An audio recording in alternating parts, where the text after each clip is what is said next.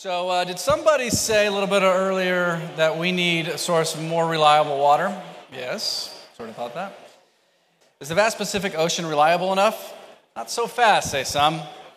In our recent session entitled Ocean Desalination Moving in the Right Direction, question mark, you'll get to hear about real case studies of successful and not so successful projects, and about two projects right here in our own backyard that are very cool.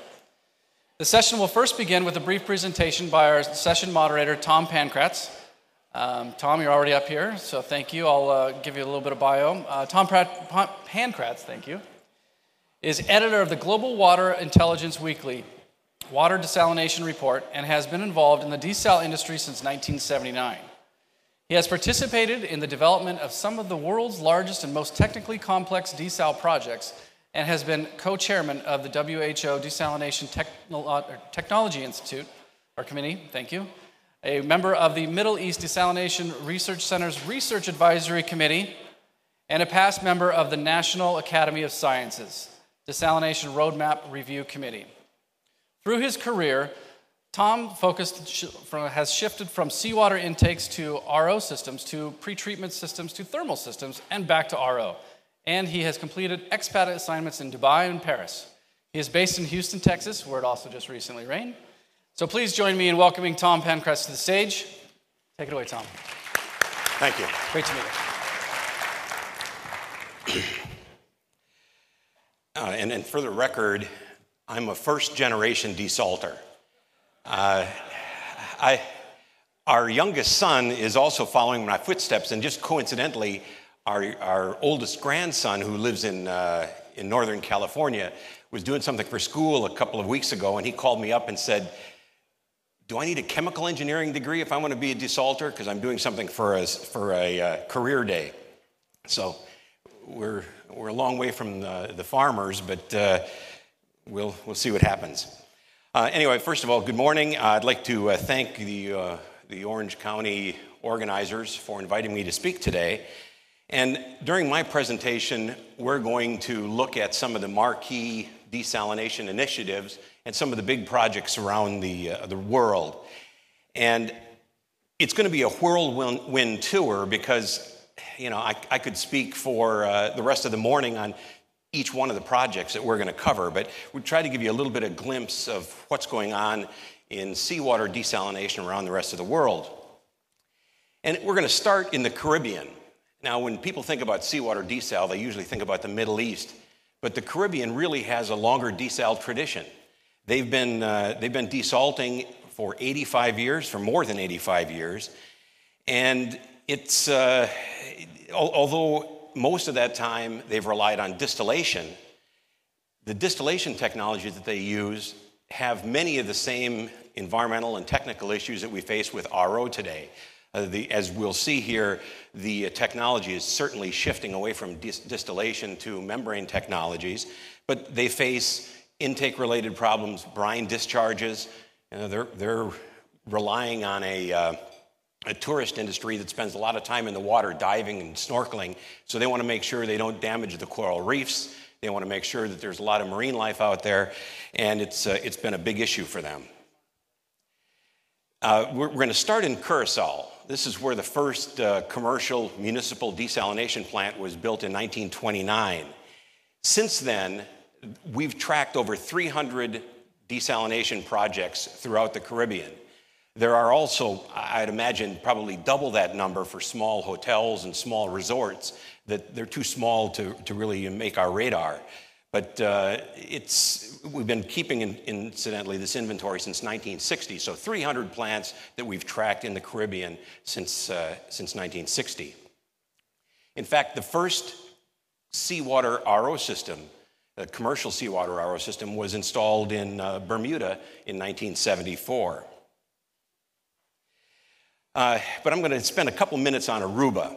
And Aruba was, uh, it, it, put its first plant in uh, 84 years ago, and it's relied for most of the, uh, until just recently, on distillation. In fact, it was so important to the, uh, to the island that uh, they put a stamp out commemorating the, uh, the distillers. This is what most of the distillers look like. In fact, these were furnished, they had seven of these things that were operating side by side between 1990 uh, and uh, about 2001. They've been installed. But in 2005, one of the utility uh, engineers took a look at the, the coming RO boom that they've seen in the rest of the world and evaluated what the uh, internal rate of return would be if they would shift from thermal desal, which used steam from the power plant, to the uh, uh to RO system, and they found a, a 19% rate of return versus 7% for the, uh, the existing thermal plants. So that started the drive towards RO. This was their first RO system that they put in in 2009. It's on the same site as the uh, as the uh, thermal plants. They're in the background here, and you see that land that's uh, at the end of that blue building. Well, they ended up putting they ended up putting another plant there in uh, 2009. So they're they're gradually replacing all of the thermal capacity with with the ROs. Now we're going to move to Trinidad. It's the, one of the largest islands in the Caribbean, and although it has a, a, lot of rainfall, they haven't been able to capture it, and they still found themselves in a situation where they needed additional water, particularly for the industry. There's a, there's a lot of industry in the island, uh, and so they turned to seawater desal. They installed a, a, plant, actually, it says 48 MGD. That is what it's pr- providing today, but initially it started out at uh, 32 MGD. They've expanded it six times since 2002. It was developed as a public private partnership, and they've made over 132 billion gallons since, uh, since the plant was installed. And a little later this year, it's going to lose the title of the biggest RO plant in the Western Hemisphere. Uh, that's going to be, uh, that torch will be passed to the Carlsbad plant. Uh, another plant we hear about a lot is the second largest plant in the Western Hemisphere, and that's the Tampa Bay plant. This plant uh, was started in 2003, but had a number of issues, uh, technical challenges, and also some commercial issues that required the plant uh, to go through what amounted to a $48 million rehab that uh, and it didn't actually start producing full capacity and meet its commitments until 2007. But even with the 48 $48 million hit that it took on, uh, on bringing it up to speed, they still are able to produce water at $1,400 an acre foot. So it's a pretty competitive rate. And I checked on the plant with the general manager yesterday before coming here just to make sure that uh, there wasn't anything I was, uh, wasn't aware of. But he said the plant this week is making about 16 MGD. It's not required at full capacity, so they're, uh, they've cut back production, and generally it makes between 12 and 16 MGD. But he said it could be turned up to 25 tomorrow if it was required.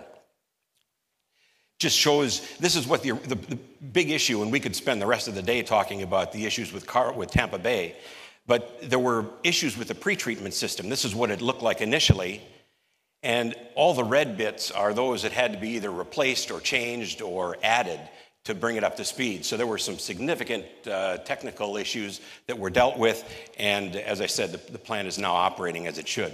We heard a little bit about Israel today, and Israel is another, uh, another location that had very little desal until 2005.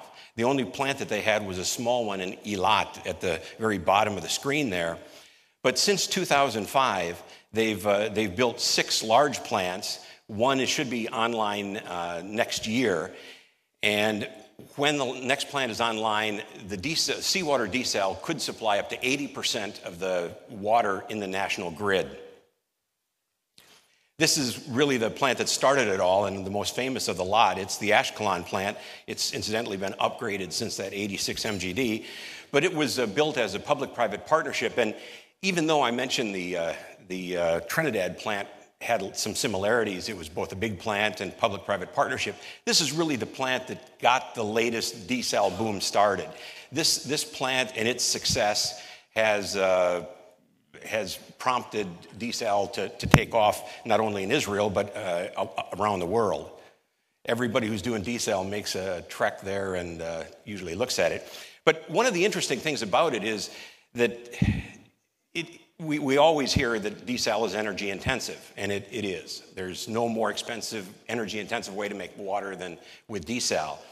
And it's especially difficult when you're trying to do it in places like uh, the Caribbean, where energy is 40 cents a kilowatt hour. But in Israel, they have some similar problems. This is an energy uh, tariff, and it shows that there are, based on the time of day and the season of the year, the energy can vary from 6 cents a kilowatt hour up to 28 cents. And there's even a day of the week uh, chart that I didn't, didn't show on here for clarity purposes. So one of the one of the real challenges was how can we make as much water as possible when the energy tariffs are low, but yet not invest so much in such a big capital project that we can't afford it. So they've, they've done some clever things. Uh, you know, we heard about drip irrigation. They did, uh, I guess, the desal equivalent of drip irrigation here, and they, they optimized it, and they've done a very good job. And the, uh, the, the, Ashkelon project, and for that matter, all the projects in Israel, show that you can do large scale seawater desal reliably, produce good quality water, and uh, do it reasonably economically.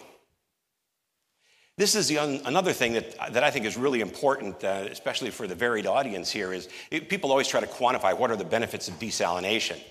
And it's been hard to do, but in Israel, they, they uh, because so much of their uh, water supply is now provided by desal, they started looking at it, and the Israeli Water Authority accumulated the data, and they showed, and this chart shows the uh, chlorides level and the hardness in the groundwater. And they show that once you start offloading some of your uh, pumping capacity of the aquifers to uh, desal plants, your groundwater improves rather rapidly. Uh, they, sh- they show here, and they, some of these are projections, but they also put an economic value on it. And they found that by reducing the chlorides and the hardness, the water heaters lasted much longer. They had, had to clean them less frequently. The laundry was eat, cleaned, it used less detergent, uh, dishwashing. Uh, they also found that crops, crop yields increased with more desal or with lower TDS water and it impacted their GDP. Now, just with the improvements in water quality, they, they quantified it at $148 an acre foot. When they looked at the quantity related impacts, they valued that at $444 an acre foot. So they, they really saw some significant impacts, positive impacts, uh, going to desal. Another, we'll come back a little closer to home here, Santa Barbara, right up the road. This is uh, what it looked like in 1992. Uh, it was built as a result of a prolonged drought. Uh, the plant was constructed in 91, and as we know, it, as soon as it started in 92, it started to rain, and so the plant was, uh, the plant was shut down but, and, and mothballed. And you can see the RO units. They were trailer mounted units right here. In fact, this shows the trailers. Uh, they, this, it was made up of 12 of these uh, trailer, or 12 units. Each unit had two of these trailers, one for the RO modules, the other for the pumping and ancillary equipment.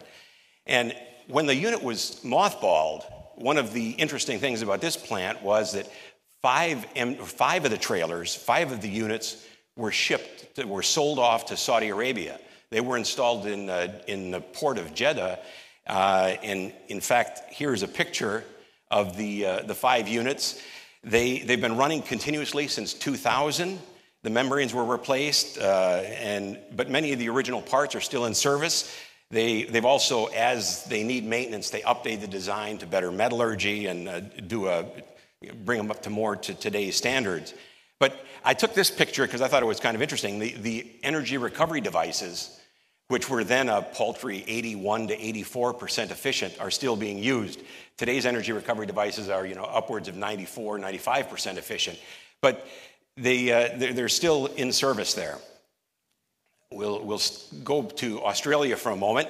This is what Australia looked like, the number of seawater desal plants in 2006, before the initiative took place. Well, in 2007, you can see the, uh, the dam levels dropped precipitously low, lower than in recorded history. So they quickly developed a policy to, to put desal in. Perth was the first one to, uh, to put in desal. In fact, and we still refer to Perth as something that's very uh, analogous to what's going on in California here. And the other plants put the plants. And now, the next, uh, the, the follow up to this is that after putting in these plants, well, excuse me, let me get ahead. Here are, the, here are the plants. In fact, there's an industrial plant up in the northwest.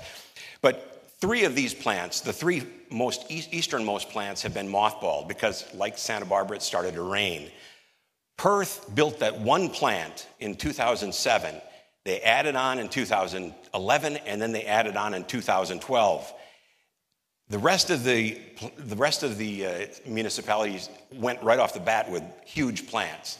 Uh, drought busters, they called them. Perth took a little bit more conservative approach, building one. If they needed it, they added on, and so on. And it proved to be the, uh, the most uh, responsible way to do it because the other plants are still are, are idle. I was an advisor on five of the six plants, and I couldn't believe they wanted to build such large plants. You know, desal wants, you know, it can take advantage of economies of scale. You want to build them large. Uh, they did. But it doesn't necessarily mean that they're going to always be cheap. Not when you put a large project like the, the Melbourne project, for instance, that's uh, over almost three times the size of uh, Carlsbad. You put it 85 kilometers or 50 miles from the, uh, the city, then you have to pump all that water uphill you have to put it underground. They had power lines that they had to bury underground. It was expensive. In, in defense of what they've done, they certainly uh, they, they did a good job from the environmental perspective. It's their planning that I question. Um, this shows the Perth plant. This is the first plant. It, it's right next to a power plant, and it's in Cockburn Sound, almost surrounded by, uh, or semi surrounded. There was a big concern environmentally about what's it going to do to the, uh, the marine life? So they implemented a, uh, multi-port diffusers. It, uh, it did a good job. It's, they had some very stringent permitting requirements in that if the, the salinity or the dissolved oxygen dropped below a preset level, they had to shut the plant down and couldn't run it. it it's operating. Here's the Perth 2 plant, which they, they built. The first phase of it finished in 2011. The day it started, they started the second phase, or they announced the second phase. And just one other thing that this is how you start adding up costs. This is the, dam, the, the berm that goes around the plant. This was a berm that was 3,500 foot long and was 25 feet high, that was built and revegetated with natural vegetation to keep the sound and the noise down from the plant. So these are what starts adding up costs. And the tunneled intakes, which we know also are, are very expensive. But in summary, I'll let you read this here. Uh, but you know, we think that in a growing number of locations, desal uh, is a viable option. It's, it, it's and we, we're, we don't think that there are very few places outside of the Caribbean and the Middle East where you need all of your water supply to rely on desal, but uh, uh, some portion of it uh, certainly makes sense for most coastal communities. So, with that, I will um, turn it over to the second speaker, who uh, is Sean Bothwell. He's a staff attorney with California Coastkeeper, and he was the lead environmental advocate for the State Water Board's desal policy that was just announced uh, just last week. Uh, what some very strict guidelines that they give the uh, development community a, a, a, path forward for developing desal. He'll be followed by Bob Yamada. Bob is, uh, well, he He's now the uh, director of water resources management for uh, San Diego County Water Authority, and he's uh, taken the lead for the authority in negotiating the water purchase agreement for the Carlsbad plant, and now is uh, making sure that the developer is sticking to the, uh, the agreement. And he'll be followed by Karl Seckel, who's the assistant general manager of the Municipal Water District of Orange County, who uh, is involved with the development of a plant here at Dana Point. So, with that, we'll uh, turn it over to Sean. Thank you.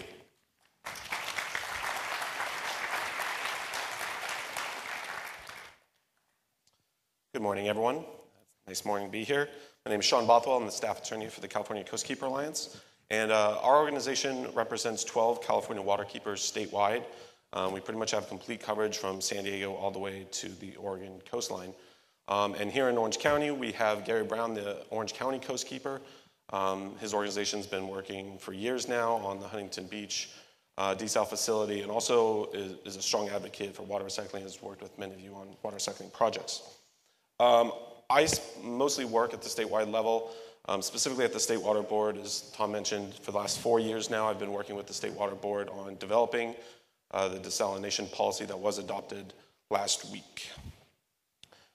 And so, what is our position when it comes to ocean desalination? Uh, we believe ocean desalination should be an option of last resort uh, due to its high energy demands, the cost to the ratepayer, and the impacts to marine life. Um, and we believe it should only be pursued cautiously after con- conservation, stormwater capture, and water recycling have been completely considered and, and, and used. And so I'll give you what, what does that mean exactly? You know, we look at water conservation, stormwater capture, and water recycling as the most multi-beneficial uh, water supply projects out there, the most cost-effective water supply projects for the ratepayer, for taxpayers out there. And we believe those options should be pursued before we jump to desalination. And if it does come to that point where desalination is absolutely required, it should be done um, appropriately. It should be sited and sized appropriately so that you can accommodate subsurface intakes and, and be placed in a location where you can properly dilute the brine, whether it's with wastewater treatment or with high pressurized diffusers, as Tom discussed um, earlier. The example I like to give of the ideal situation for a desal facility, if one is needed, um, is the Cal-Am example up in the Monterey region. And there, Cal-Am and Monterey was required to reduce, reduce their reliance on the Carmel River. And so they first looked at conservation, and they, and they did their conservation, and they got their uh, per capita use down to 48.3 gallons per day. Admirable conservation rate. Uh, they also looked at water recycling and are currently looking at a, a 3,500 acre foot per year um, water recycling project. And after they, they did that type of water supply management, um, they were able to size the desal facility appropriately, small enough so that they could accommodate subsurface intakes. And so the facility right now is proposing to use subsurface intakes and use the, uh, the treated wastewater for dilution of brine, which we see as the ideal way if you're going to do desal. Now, if you compare that to Huntington Beach, Poseidon, for example, you know, Poseidon comes in, they self-select the site they want, usually co-located with a power plant. They self-select the size that they want based on the economics and what will make them profitable. And then, you know, they force the technology to go with it. And we, we don't feel like that's the appropriate way um, to plan for desal going forward. So the good news is there are the alternatives that we think should be considered first. Um, there's potential for that growth. This is a little outdated of, of a chart, but it's from the 2010 uh, Department of Water Resources Water Plan. What it shows is the potential for new water supplies in California based on different water supply options. And as you can see from the far right, um, 3.1 acre feet of water, there's potential for that in water conservation. And, um, sorry, moving down, water recycling is the second most, most abundant available supply out there. And if you look at the far left, there's ocean desalination at only 0.4 um, thousand acre feet per year. And so when, when you consider those, you, know, you can see that there's far more potential in the more cost-effective water supply options before we have to jump to desal. And if you look at other nations that have resorted to going to desalination, you look at their conservation rates. Um, they're well, all well below, you know, uh, 100 gallons per day. Spain, Middle East, Australia. Usually their average is around 50 to 70 uh, gallons per capita today. And if you compare that with Southern California, you know, we're still at 186 on average for Southern California. So I think there's a lot more that Southern California can do um, to conserve water. Uh, when it comes to water recycling, Orange County's been, you know, an international leader on water recycling throughout the years, but there's still a lot more that can be done. And other communities are now looking to, you know, push the envelope. San Diego is looking at doing a surface water augmentation or a direct potable reuse project. Same with Santa Clara in the Bay Area. There's a lot more water recycling that can be done um, in Southern California. So I want to address the elephant in the room of California's ongoing drought, which is you know, a difficult thing to uh, create a desalination policy at the statewide board when we're facing such a drought, but we did. And I like to you know, warn, warn communities that we shouldn't be rushing to ocean desalination, and I use Australia as the example. And Tom already spoke to this, but um, you know, back in the 90s, early 2000s, Australia went into a 10-year pretty large drought, and they decided to build six desalination facilities at a cost of $10 billion to the taxpayers. And you know, they, they took years to construct those facilities, and while they were constructing them, they did their water conservation, and the drought eased. And by the time they were constructed, um, three out of the six facilities uh, were no longer needed. They, they weren't producing any water. It wasn't cost effective to run those facilities, and they're now moth, they're, they're now idle. And if you look at just one of those facilities, still doesn't produce any water, but the, the taxpayers in that region are paying 678 um, million dollars annually just for the operational and the construction cost of that facility. So, second elephant in the room, or what everyone would like to talk about, is probably the Poseidon Huntington Beach project. Um, this is another kind of cautionary tale I, I, would like to tell because, you know, the, the permits for Huntington Beach aren't done. They're, they're not complete. And in fact, the Poseidon Huntington Beach's Regional Water Board NPDES permit is only a temporary permit. They only have temporary you know, permit status while the co-located power plant um, is using once-through cooling water. And once they stop using once-through cooling water by 2020, Poseidon Huntington Beach needs to come back to the Regional Water Board for a new NPDES permit, a, a full, complete NPDES permit. When they do that, the new desalination policy considers Poseidon Huntington Beach to be an expanded facility. And as an expanded facility, they will need to comply with all parts of the new desalination policy. This is a lot different than what's happening in Carlsbad. You know, Carlsbad, Poseidon uh, is largely exempt from the new desalination policy. They really worked hard to get a lot of exemptions um, for the policy, but as the state board, you know, carved out different exemptions for Carlsbad, uh, they ratcheted up some of the restrictions for the rest of the desal facilities, including Huntington Beach. So, what does the new desalination policy require of Huntington Beach? Some of the changes that will be, need to be made from the temporary permit to their permanent permit. Uh, first and most importantly, they're going to need to do a full and complete subsurface feasibility analysis study. Um, in their temporary permit, they were, they were permitted to use the once through cooling water, so subsurface intakes weren't exactly fully assessed. Um, but, but now it will be. And the Coastal Commission, in a separate process, has already looked at uh, the site that they're proposing and has seen that it's technically feasible to do subsurface at that location. So that leaves Poseidon with the option of arguing cost.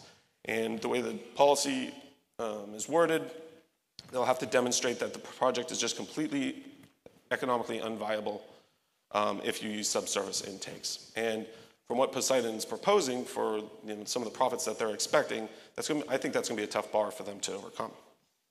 Um, siting. As I said, Poseidon you know, comes in, they self-select the site. They don't really do an analysis of where the best site is for reducing marine life impacts. That's not true anymore with the desalination policy. They'll be required to assess alternative sites in the nearby area that would be better for accommodating subsurface intakes and maybe possibly even cheaper. Um, and then finally, brine dilution um, with seawater.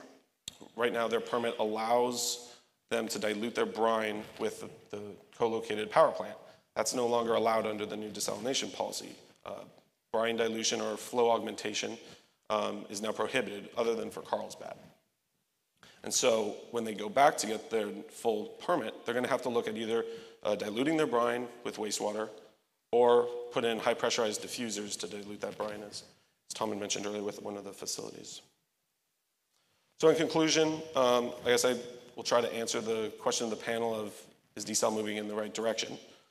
You know, you know, I think it depends on who you are and where you're located and what your interests might be. But if you look at Carlsbad Poseidon, I, I think based on the desalination policy, they're pretty happy. You know, largely they're exempt from doing the requirements for new and expanded facilities, and specifically Huntington Beach? I don't know. There's a lot of questions now that need to be answered. I think before they thought, you know, everything was fairly wrapped up other than the Coastal Commission, but when they go back to get the permanent permit um, at this, the Regional Water Board, there's a lot of questions that need to be answered of whether they need to do subsurface intakes. I get asked a lot, um, you know, where will desal be in five, ten years? You know, will it increase? Will it Will it stay the same? Will it lower? And I honestly believe that, you know, for the next five years, because of the drought mostly, we'll probably see a, a growth in desalination in California. But when we get to direct potable uh, reuse regulations, you know, we already have surface water regulations for recycled water. They'll be done in a year. Um, and we're moving towards DPR regulations in the state. And I, I honestly believe that once we get there, you know, why would we be continuing to do desal when we could do water recycling at a cheaper, cheaper cost um, and in a, in a more environmentally beneficial way. You know, I know Orange County Coastkeeper works a lot on water recycling, is very supportive of it. I've worked with uh, the water recycling industry at the statewide level to advance a lot of water recycling um, measures and bills at the state level. And you know, we are an ally when it comes to water recycling. And I just see that as a, a partnership that needs to be strengthened and will really increase water recycling in the future rather than us moving this push towards desal where you know, you're constantly in fights with whether it's environmentally protective or not. Uh, so with that, I'll, I'll stop and answer any questions anyone has uh, later. Thank you.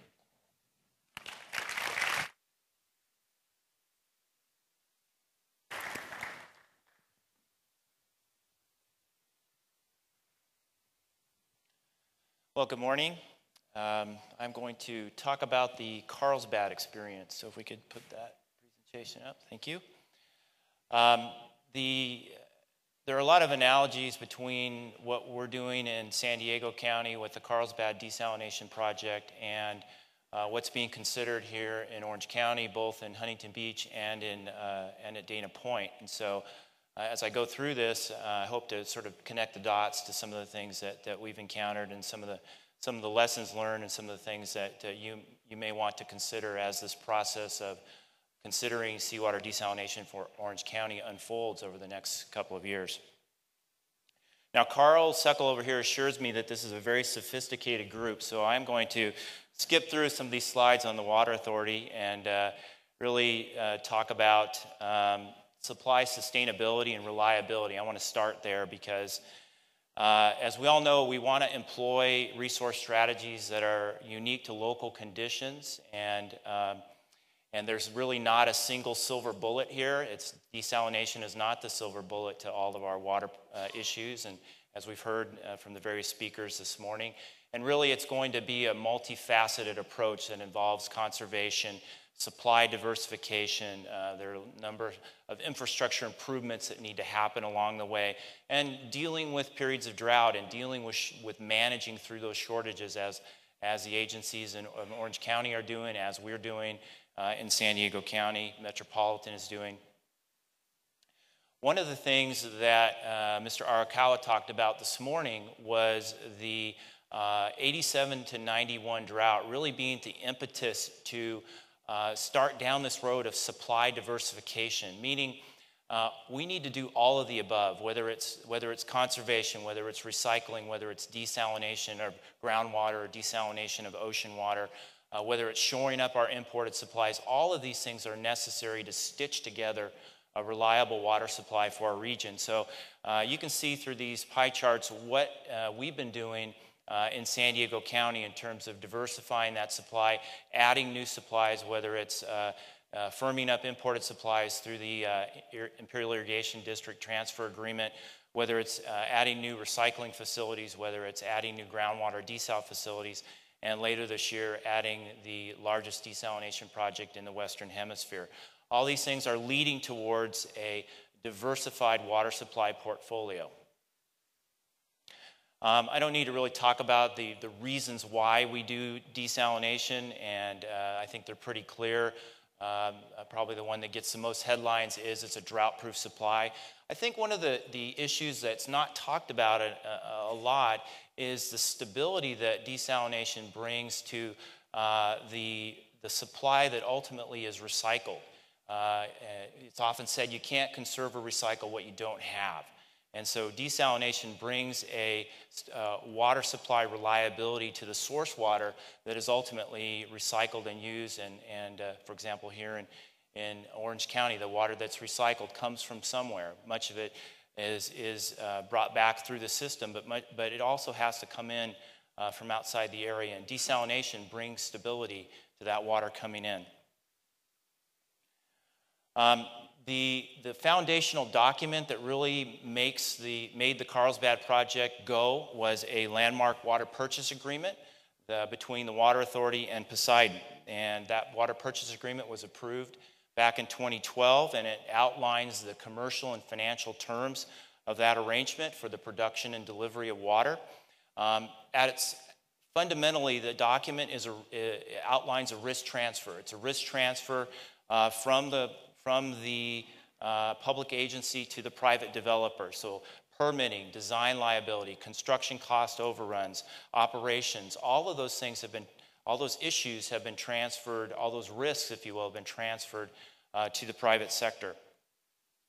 Um, as we went through the process of, of leading up to the approval of the water purchase agreement back in 2012, there were a number of boxes that we needed to check. And I would say that for Orange County, for Huntington Beach or Dana Point, you're going to need to check the same boxes, which is confirm the timing and need for the facility, uh, go through the feasibility and engineering analyses, consider the unit cost as it relates to other alternative water supplies, uh, look at public and political support. Uh, future energy prices are definitely consideration. Uh, regulatory issues. Now we have some certainty, as, as Mr. Bothwell pointed out, with the uh, approval last week of the new desalination uh, regulations at the state level. That does, definitely provides a certainty. Um, I, am going to uh, disagree with Sean, as we often do at different forums. Carlsbad does not have an exemption to the, the desal policy. There are some specific uh, uh, language in there that addresses Carlsbad, but Carlsbad will need to come into compliance with the new policy as we renew our permits and as the adjacent Encina power station shuts down. Uh, willingness to pay is another issue that uh, is important to consider. And then how does, how does the project get delivered? So, all, let, all boxes that we needed to check as we went through the process. I'm going to just focus on a couple of these pro, uh, uh, boxes. And one of them is public perception and support for desalination. And as you can see by these uh, pie charts, it really represent a longitudinal period of time what we found was is that public support never wavered from about 80% for adding desalination uh, to our portfolio uh, over the last uh, nine to 10 years. Now, the, these, this last public opinion poll was taken in 2012, well before the drought really kind of kicked into the public's consciousness. So I would expect that that number might be even higher today than the 82% that it was uh, in 2012. One of the issues that uh, obviously very important to water agencies as they consider new projects and new water supplies is what's the cost to the ratepayer and what are ratepayers willing to take on uh, as costs accumulate for different aspects of dealing with taking care of a water system and providing a reliable supply. What we found is that our uh, uh ratepayers were uh, uh, more than willing to take on an additional cost. And 58% of our respondents said we'd be willing to pay $5 more a month for a new desalination facility at Carlsbad. 68% said we'll pay something more. Uh, and so, as we've gone through the math and the, and the uh, financial calculations, uh, the average ratepayer in San Diego County, the average residential customer, is going to pay $5 more a month for water from the Carlsbad desalination plant. Um, the, the key issue that I talked about here in terms of the responsibilities, Poseidon is permitting, designing, and building that facility. They're going to own and operate the facility. The Water Authority had to make some improvements to its system, uh, which we've completed and uh, we agreed to a take or pay, a minimum purchase commitment of 48,000 acre feet per year from that project. We went through a lot of uh, scenarios, looked at a lot of different scenarios and projected supplies and, and demands, and we're comfortable with a minimum purchase uh, uh of 48,000 acre feet from year, per year from the plant. These are the costs of the facility in 2012 dollars. Uh, total cost comes in at just over a billion dollars. Uh, and uh, you see the, the costs um, uh, down at the bottom there. Those are the, the combined costs of the Water Authority's improvements plus the plant. If you just isolate the plant and the pipeline, in today's dollars, it's between about 1,900 and about $2,100 an acre foot for water produced from the facility. Now, I'd like to get in, just show you some really quickly some, some photos from the construction and, and uh, just talk about the plant itself. Uh, it is a 50 million gallon per day facility, as we've mentioned here already. It's going to be the largest and most advanced desalination facility in the Western Hemisphere, online by the fall of this year. Uh, it can't come online uh, fast enough. I think for all of us in San Diego County, we want to see that new water supply uh, coming, into our, uh, coming into our region, into our ratepayers. Um, the, the, the, design of the facility is really based on uh, designs of facilities that, that Tom talked about earlier in Israel. We have a world class contractor team uh, that's building the Carlsbad facility, Kiewit Shea Desalination, that includes IDE from Israel, who built uh, the uh, Ashkelon plant that Tom talked about, the Hadera plant, and the Sorek plant, three of the largest desalination facilities in the world. So the design is really an iteration of one that's been, that's been perfected over the last decade or so uh, in Israel. Uh, this, this schematic shows what happens to the water uh, once it's produced at the facility. It will go through a uh, new 10 mile welded steel pipeline, 54 inch welded steel pipeline. It will actually uh, meet our aqueduct system 10 miles to the east. Uh, we needed to reline an existing segment of one of our aqueduct pipelines. It will blend with water at our Twin Oaks Valley water treatment plant and then be distributed down to basically all over the county to our customers. Uh, this is an aerial showing the, uh, the project and the pipelines and all the different improvement projects. As you can see, all of the Water Authority improvements are completed at this point, uh, and uh, the desalination plant stands at 90% complete. Uh, and, the, and the pipeline is, I have a slide on the pipeline a little later. It's get, we're very close on the pipeline as well to being finished. Um, about 51,200 feet out of 53,000 feet is in the ground, and there's a focuses on a couple of areas where we had some tunnel construction, and uh, we're in the midst of restoring pavement on those streets that we were in, disrupting traffic for the last couple of years. Um, I mentioned 90% complete on the project. These are some shots of the, uh, of the project as it stands right now. We're through the major construction phase. We're into to, uh, commissioning and testing. And uh, again, we're looking forward to a fall uh, online date for this facility. Some of the design issues that, that went into the design and construction of this facility, you can see here. Uh, we're going to be very interested once the water starts moving through the system and we look at some issues related to chloramine decay, which is a water quality issue that was identified with, uh, with water that has seawater as source water. Uh, but there are a lot of uh, uh, key design features to this plant, uh, such as en- the energy efficiency and the use of state of the art energy recovery technology, that I'll talk about in a minute. And uh, specifically, this plant was designed to meet the Water Authority's specific water quality requirements. This is a shot that shows you what uh, the site looked like in September of 2013 and what it looked like back in March. You can see that the major, major facilities are all in place. Uh, one of the things that, for those of you that may at some point come and see this project, uh, it is probably one of the world's most compact desalination plants for its size. All of the, uh, the plant components basically fit on about six acres.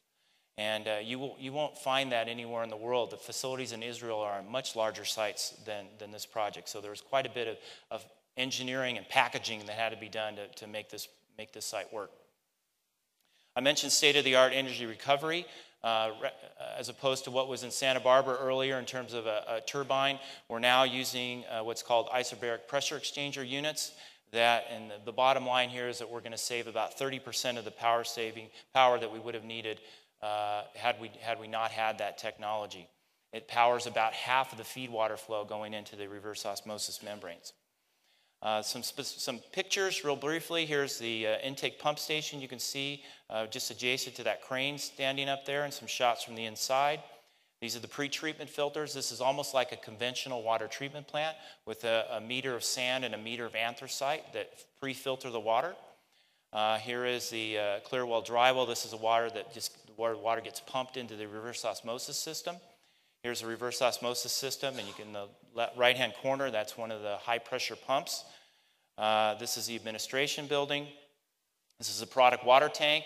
And uh, right adjacent to the uh, three blue surge tanks that you see there is the most important piece of equipment in the whole facility. That's the billing meter. So,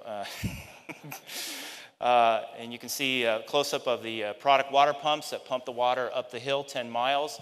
Uh, it's a single lift, it, it, so we pressurize to about 500 psi, so it's quite a, a, high pressure pipeline for the water authority. You can see the inside of that uh, uh, product water tank. And with that, I'll conclude. Thank you.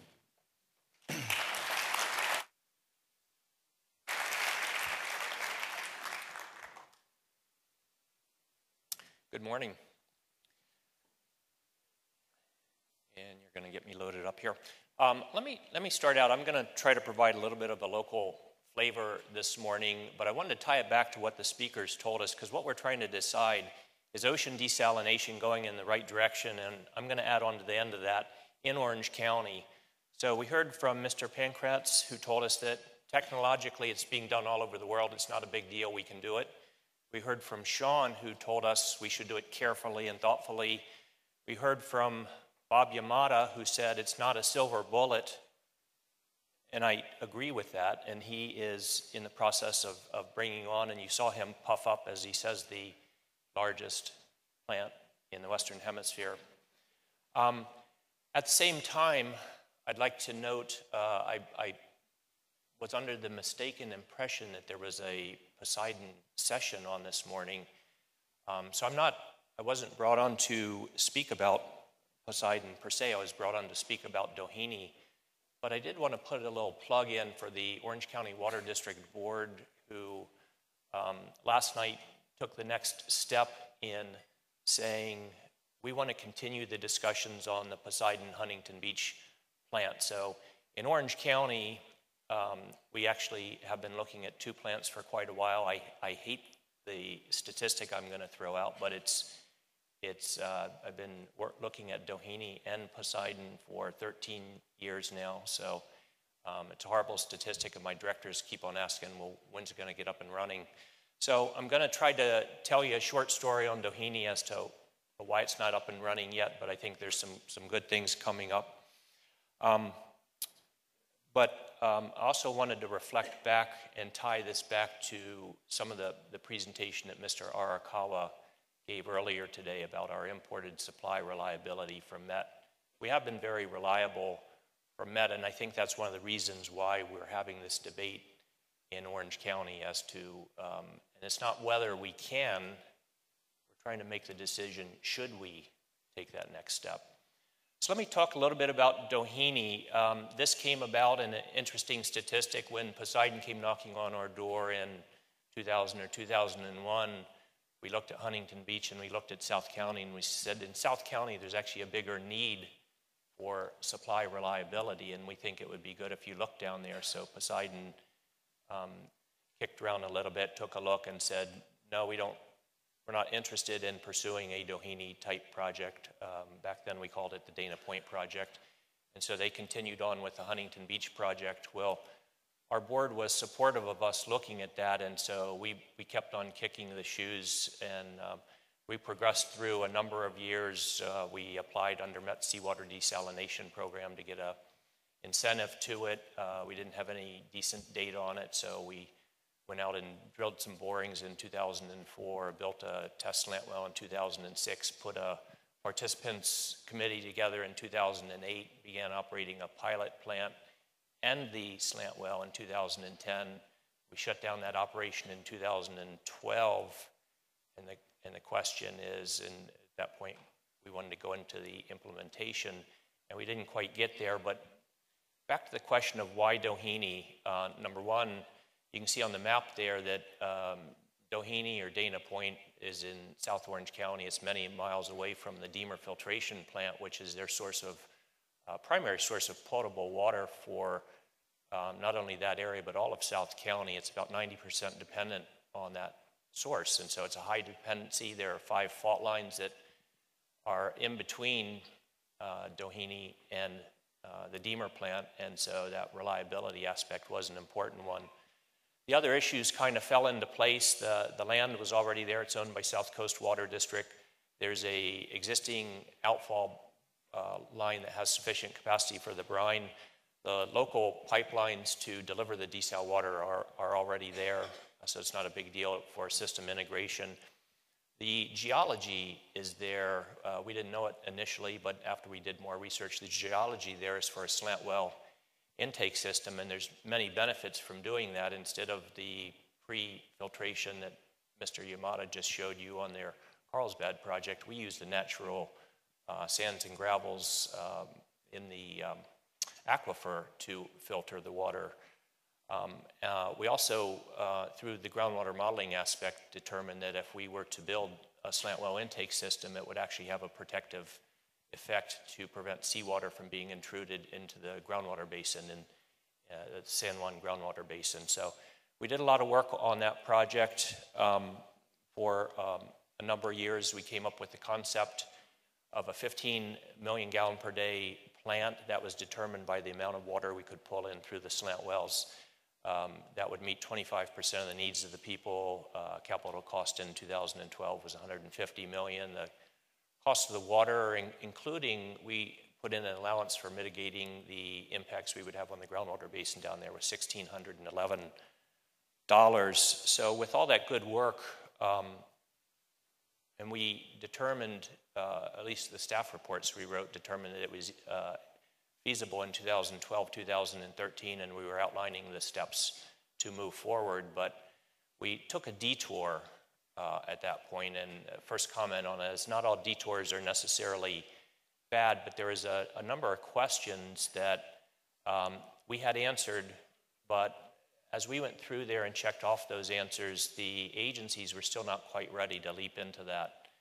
Um, and um, might get into that in a follow up question. But the agencies just weren't ready. And the last bullet on that slide talks about the San Juan um, groundwater basin. And the way I like to talk about the project, because this is at the interface between a groundwater basin and the ocean, and there's three boxes. One is the groundwater basin, and the question is what can be done for the groundwater basin to produce more water out of there?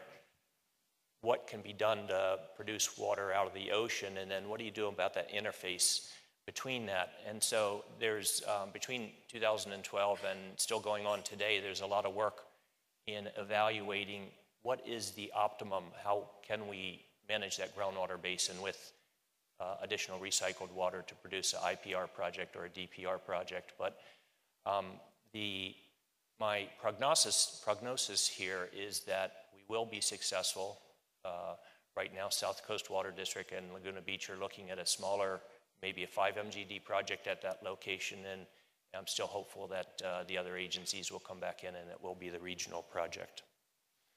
Now, I threw a little curve at Mr. Pankratz today, and I didn't tell him I was bringing some friends along to the meeting. We're trying to decide if, if uh, Ocean Desal is on the right path or not, so I decided that we needed a jury, and I'd bring some of my jury friends along on this route. So I have um, 12 um, jury members, and you need an alternate, so there's a 13th in there.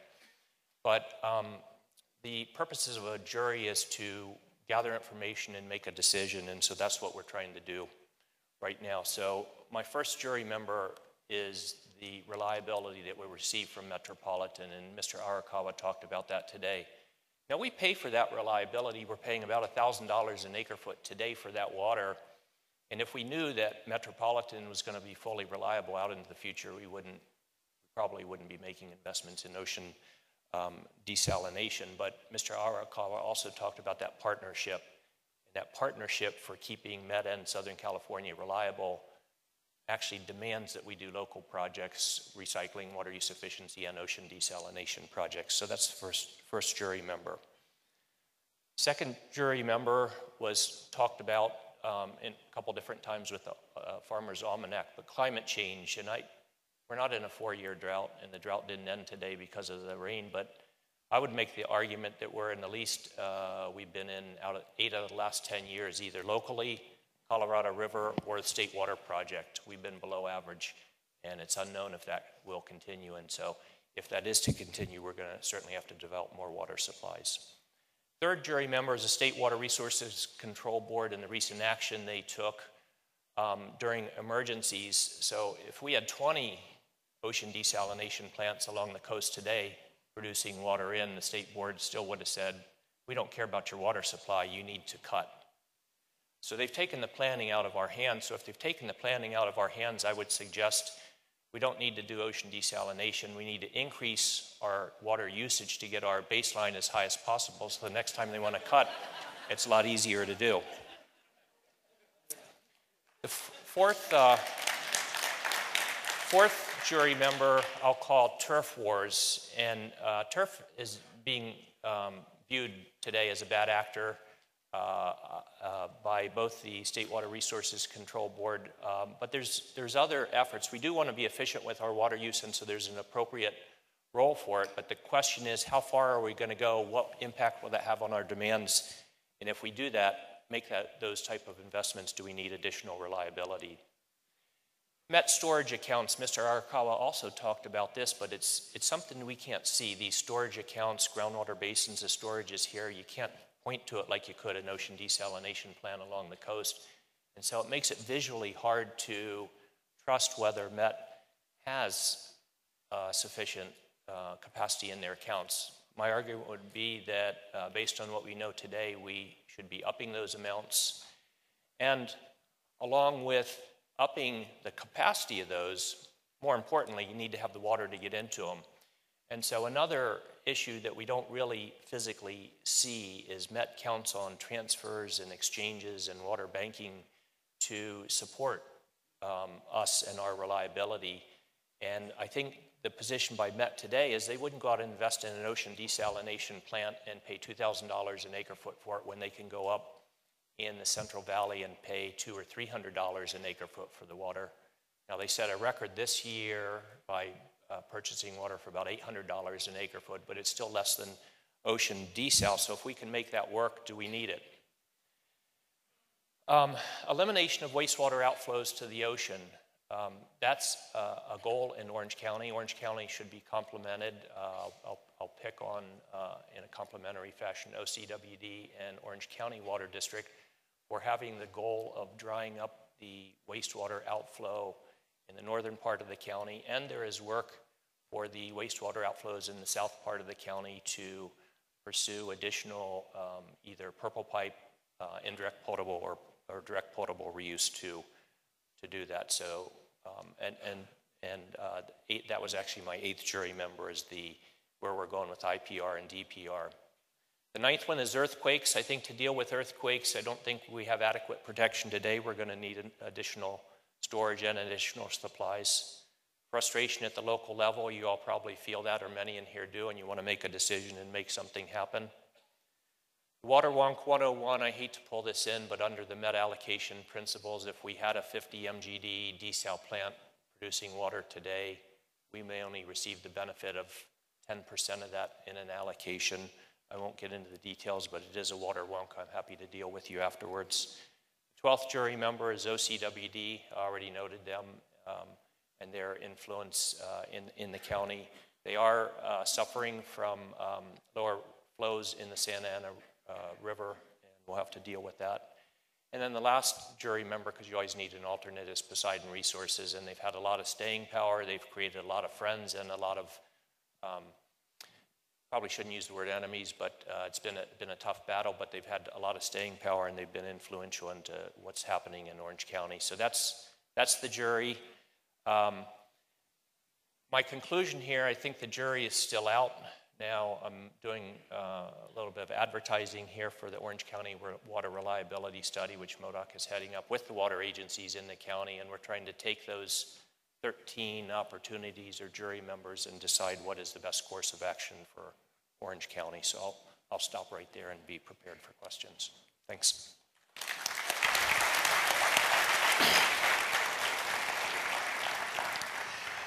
Thank you for that. Uh, and, and I want to say one thing. You know, when you talk about California and desal and outside of California, uh, the, people always laugh about how long it's taken and 14 years for Carlsbad and 13 years. And, and I have to say that in, in looking at some of these other uh, desal initiatives uh, that, that have a diverse supply of water to choose from, it isn't so long. And I don't think it, I, I, don't blame the regulators to the same extent that, that many people do. Uh, it, has been a very thoughtful process. And I think you've learned a lot with, from some of the mistakes that were made. Well, I don't want to call them mistakes either. Some of the hurdles that, and challenges that have faced uh, other uh, people.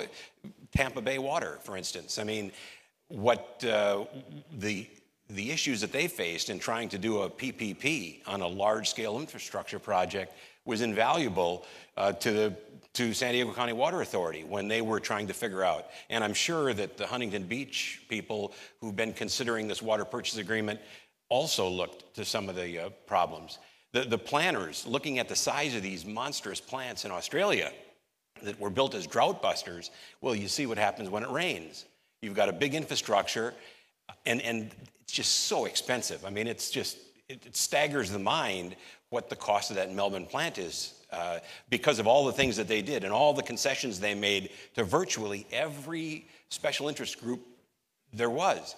I'm not saying you have to exclude those people; they were part of the process, but it just it kept it kept adding cost to it when putting a smaller plant closer to Melbourne to relieve the to do some immediate uh, relieve some of the immediate impact and help them get used to the fact and see how to approach it would have been in, in hindsight a, a pretty uh, a much better way to go. But as they say down there it's uh, you know it's you don't know the value of water until you don't have any and so they they reacted pretty quickly so that's a long way of saying that i think california has uh, it's taken a long time, but I think you're going to have a lot to show for it with a balanced water portfolio, a thoughtful plan, and uh, this melded water rate that is that's tolerable.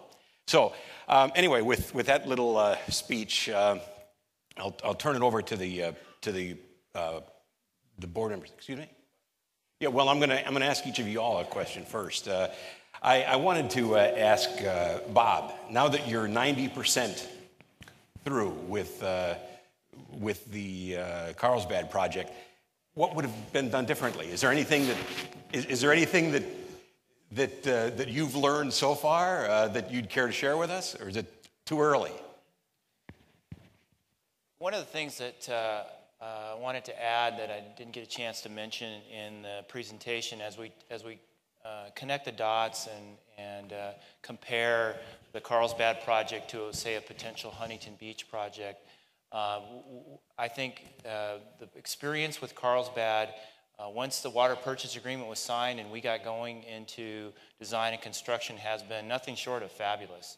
Uh, that project is on time, perhaps even a- ahead of schedule, uh, and uh, on budget. And um, the Poseidon and the contractor team have, have, just done a terrific job. So, from that perspective, I don't, I don't see. Um, a lot of things that, that we would have done uh, differently. The risk transfer has worked uh, according to as advertised, and so uh, uh, we're, we're, not seeing those issues. Um, the, the, the, process that got us to the water purchase agreement is another story. That was, as, as has been pointed out, a 14 year uh, um, circuitous, uh, what's the, what's the uh, the, the Beatles song, The Long, uh, Long and Winding, Winding Road. Road. Well, this is exactly what uh, the Carlsbad process, and it involved uh, not only uh, different points where the Water Authority and Poseidon were working together and not working together, it also involved a six year permitting process and 14 separate legal challenges. Uh, so if, if, I could wind back the clock, if there are ways to now that we have a, I think now that we have a, uh, a clear way forward in terms of uh, a state uh, regulatory policy. That's going to help. Um, and I think uh, efforts to streamline the permitting process will also be helpful. Okay, thanks. Sean, let me ask you a question. As we've we've all said uh, through our presentations, these projects are being done, most of them as PPPs or as public-private partnerships. And you know, if you look around the world, even in Saudi Arabia and the United Arab Emirates, uh, almost all large seawater desal projects are, are done as PPPs. They all look a little different, the, the structure of these PPPs, but I wanted to ask you, you, we, you didn't talk about that a whole lot. I heard the word profit come up a couple times, but what, what is your feeling, or what, are the, what do you think about the PPPs, just in a nutshell here? Yeah, I try not to get too involved in the issue of public private partnerships, um, but I think one of the negative sides of them is it does drive um, Poseidon-like projects where you know you pick a site, you pick a size based on the profit you want to make, not necessarily uh, the need of, of the region. And so if you look at projects that we would be more um, supportive of, those projects are done based on need of the area, not based on trying to make a profit. So I think that's all I'd say to that. No. Okay. Uh, Karl, just a, a quick question. In, in, in, Orange County here, is there room for two projects, Huntington Beach and Doheny? Uh, I mean, is, is if Huntington Beach goes through, th- does that have any impact on the, the, the uh, timeline for, for the second one or vice versa? Good question. Um, I think there is uh, potentially room for two. I think it goes back to evaluating our um, reliability off of the import system. And once again, if we see holes in that, then I think the what we want to look at those two plants is they are options that can be brought on to fill those holes. And so I think that's the part of the Orange County reliability study is where are the gaps? How do we fill those gaps? And so those plants, both those projects are potential gap fillers. Okay. Okay, well, with that, I think we'll see if there's any audience questions for any of the, uh, the panel members. Okay? Hi, thank you. My name is, my name is Larry McKinney. I have a question about the planning for technological change. So we keep hearing that we uh, are perhaps right on the cusp of major improvements in the cost effectiveness of the filtration that we're using. Maybe it's graphene membranes or something that could dramatically change the effectiveness of the process we're using. So my question is, are we on the cusp perhaps of a quantum change in the, in the effectiveness of the filtration? And if, if there are changes that are like that out there possible, how should we be including those considerations in the planning and decision making about these large capital investments? Well, if there's no objection, I'm going to try to take an answer to that. I, I write this weekly uh, newspaper that try, one of the things that I really focus on is some of these new technological changes that are going to make a quantum change and save 75% of the energy costs. And the short answer is don't hold your breath. I mean, there's a lot of good stuff out there. There's a lot of uh, interesting science that's being done. Uh, and we'll inevitably see graphene in desal plants somewhere. But as far as it being a membrane, I don't think that there's, and, and I, in fact, as part of my research, I talked to the guy who won the Nobel Prize for it in the University of Manchester, Andre Geim, and asked him and what, what he thought, uh, because his lab is doing a little bit of work on, on membranes. But we're a long way, we're a long way from that, and I certainly don't think there, there's a quantum change. I think that these, we're, we're right now, the, the desal process is amazingly cost effective and efficient. It's, it's hard to, uh, in a short period, in two minutes and 23 seconds, to explain how efficient they really are, but it's, we're, we're within 25% of the uh, theoretical energy of minimum energy of separation. So we're, we're so close already to, to cost effectiveness. Now, there are ways to make plants more robust. There are better control systems to optimize energy usage. There's a lot of things. But graphene is way down the list eh, as, as one example. Uh, and, and, but there's a lot of research being done that's, that's looking at that. Uh, I think the National Academy of Sciences also looked at that question specifically. They looked at a 20 year horizon and they couldn't identify anything. Uh, so I, that's a, anyway, next, next question, please. Let's go to this side of the room first. Uh, thank you. Um, I wanted to know um, this question, uh, first question is for Tom. Um, you said that uh, the Tampa Bay project was about $1,400 an acre foot. And I know uh, in Singapore has a, a, facility coming on, and I believe it's between seven and 800 an acre foot. And I'm just trying to get a range um, on those uh, plants worldwide. Um, if you could kind of give us a, a, the range for acre foot well, cost, and I know it's different because of the regulatory, but just ballpark kind of. Well, yeah, I, I would say that the, the, range of seawater desal around the world, uh, the, the range is probably somewhere in the uh, uh, $1,000 an acre foot to uh, $3,500 an acre foot. That's just off the top of my head. And let me say that the San Diego or the Singapore project bears no, it, it doesn't bear any resemblance to reality. Uh, you know, and, and, and the, well, it's, it's true. I mean, Singapore is, is great at a lot of things, and water planning and, and water projects are, are one of them. But that project was done as they were negotiating an import water rate from Malaysia. And they were, they were putting that project in just simply to prove that if you don't give us the right rate, we'll do it ourselves and we won't, we'll turn off the spigot. So they put that in and they took some very liberal uh, uh, advantages of the way they calculated the cost. And they, they figured those plants, the, the, for instance, you talk about transferring risk. The Carlsbad plant, if they don't make some minimum quantity of water, that they, they have to pay a huge penalty. This, that plant is only required to make 25% of the capacity. So there's redundancy issues. There's just, it, it, isn't, it doesn't reflect reality.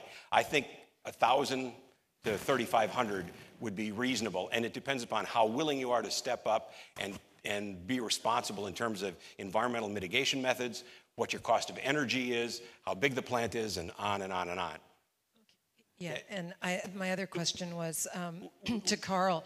I was wondering. Oh, okay, go ahead. Okay, Sorry. yeah, I, I, was wondering, um, and it's also you know kind of to the Met, uh, uh, which regard with regard to the system uh, integration and everything. Um, do we have any plans or policy, or Karl, what are your thoughts on putting the you know aggressive uh, desal water into our uh, delivery system and the pipes? How we're going to mitigate that? Um, um, good, good question. Um, I put it in the category of, of technical um, we have very good, smart people that know the chemistry and the understand those issues. The experts are telling us as long as the water is stabilized, then there shouldn't be any problems with inter- introducing that water back into the system. Um, just uh, during the meeting here, I leaned over to Bob and asked him that same question because they produce water at the ocean and pump it to their Twin Oaks, but in between, they will have a couple of connections where they will be introducing that water directly to retail customers. So, actually, one of the things we'll do is look at see how they do it. But we're discussing that with Metropolitan at this time. There have been study after study after study that says um, as long as you pay attention to the chemistry and do the stabilization of the water, make sure the pH is right, um, that you really shouldn't have any problems. Okay. And I've got two big red zeros here saying time is up, but you've been standing there, so Thank you. We could ask you to. Thank you very much. Uh, I would like to concentrate a little, if I could, on energy. Uh, we have a large energy output for the pumps to bring the water south to begin with. We've just taken the San Onofre offline. You're talking about Huntington Beach, which of course was a power plant, now is, now is no longer a power plant. Uh, all of this says to me you have a, an energy deficit, and if we're going to be, have a desal, where is our energy coming from? Additionally, two major lines come over through the Cleveland National Forest down in San Diego. They're only five miles apart. You guys always have fires up there. If the fire hits those two, two babies, we're out of luck down here. Uh, also, if you go to take a look at it, go to Powell, go to Mead, they're both down, great. What happens then when they go to Hoover? The pumps are not going to be functioning there. So we've got an energy deficit across the whole West. Where is it going to come from? I, I guess we'll wait for the Orange County Energy Summit to address that issue. I, I, that's, it's, a, it's a good, it's a good question. Thank you. Uh, I, I, I think I've, our time is up here, so I'm sorry that we can't. Oh, it's, but, it's all right. I'll leave you with that. Thank you. Thank you. Next time.